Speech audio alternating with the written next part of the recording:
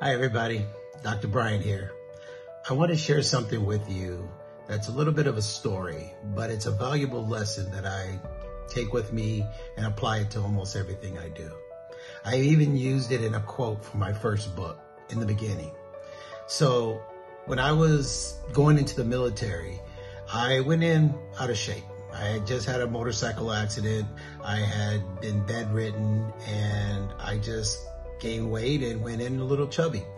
And during the PT period of time in basic, it was required for me to do the run like everybody else, standard. However, it was really difficult. And many times during that run, I wanted to stop and walk. But a staff sergeant came up to me and he told me something that was the best advice I probably ever heard in a long time. And what he told me is fairly simple. If you quit once, it will only get easier.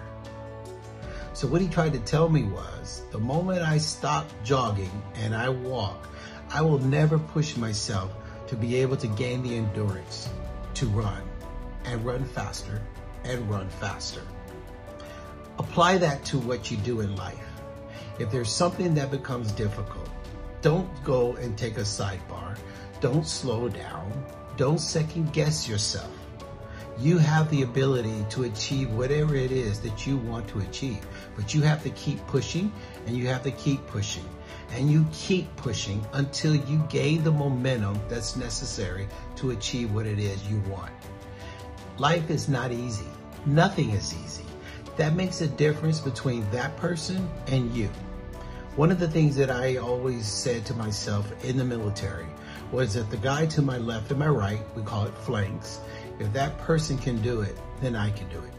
As a ranger, special ops, we used to do things in training that was probably considered to be insane.